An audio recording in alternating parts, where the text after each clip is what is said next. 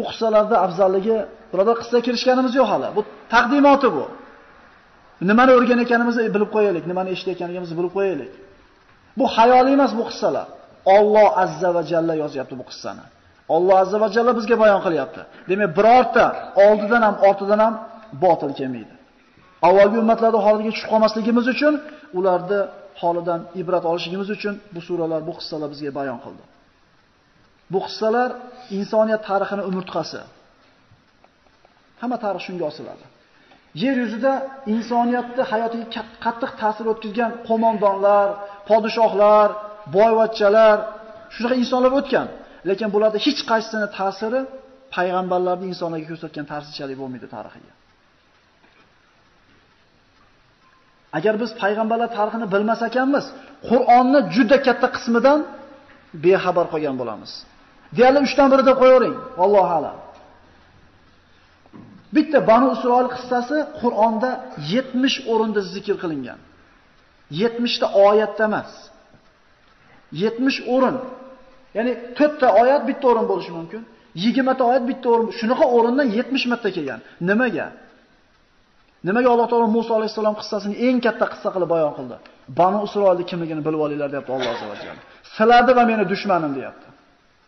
O'zlarini qavmidan bo'lgan, o'zini millatidan bo'lgan, yahudi bo'lgan Musa alayhisalom Fir'avnni so'yib, xor qilib turgan joyida yahudiylarda olib chiqib ketib, 20 ta yaqin mo'jiza ko'rsatdi. Nima muomala qilishdi? Xorlikdan olib chiqib ketgan Musa payg'ambarga qilgan muomalasini ko'rgandan keyin, "Ey musulmonlar, ko'zinglarni ochinglar. Bu hech qachon sizlarga el bo'lmaydi bu xalq. Bular sizlarni va meni dushmanim" deyapti. 30 yil qo'shningiz bo'ladi. 100 yil qo'shningiz bo'ladi, lekin yahudiyligicha qoladi u. G'oyril mag'dubi alayhim valaddolin. Seni g'azabingga uchramagan va adashmaganlarning yo'li bo'lgan to'g'ri yo'lini bergin deyotganda, mana shu qissalardan xabardor bo'lishimiz kerak. Nimaga endi yahudi, nimaga endi yomon ko'rishimiz kerak? Nimaga bizni dushmanimiz deyapti Alloh? Eshitaylik birodarlar.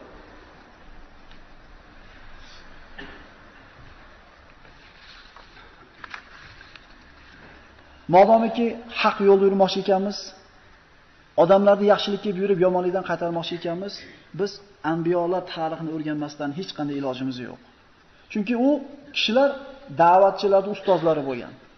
Shunday emasmi? Agar bir odam bir odamni haqqa da'vat qilmoqchi bo'lsa, kimdandir o'rganish kerak. Ha?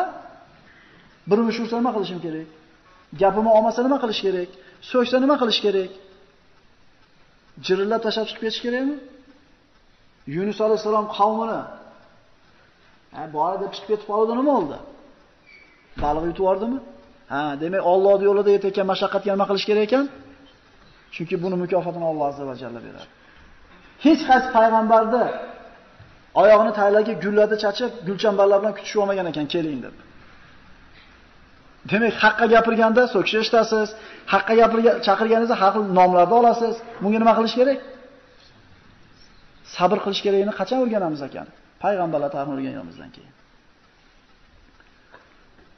Mana bu qissalarda Isroiliyot olinmadi. Ana shu qissani yozgan tarjima kishi mana Torih Muhammad Suvadon aytadi, men mana shu qissalarni tayyorlashlikda Isroiliyot va zaif hadislarga e'tibor qaratmadim. Hadislarda faqat sahihlarni oldim. Hadislarda Ibn Abbosga, Ibn Kasir va Ibn Jarga tafsirlarda tayanaman.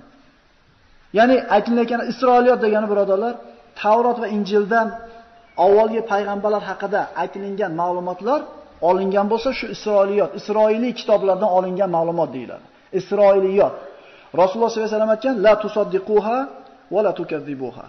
Ana shu Tavrot va Injilda payg'ambarlar haqida aytilingan ma'lumotlarni yolg'on ham demanglar, rost ham demanglar. Chunki rost bo'lgan joyi ham bor, botil aralashib ketgan joyi ham bor. Biz tasdiqlamaymiz, inkor ham qilmaymiz. Lekin bu qissalarda Isroilga keltirilgan emas.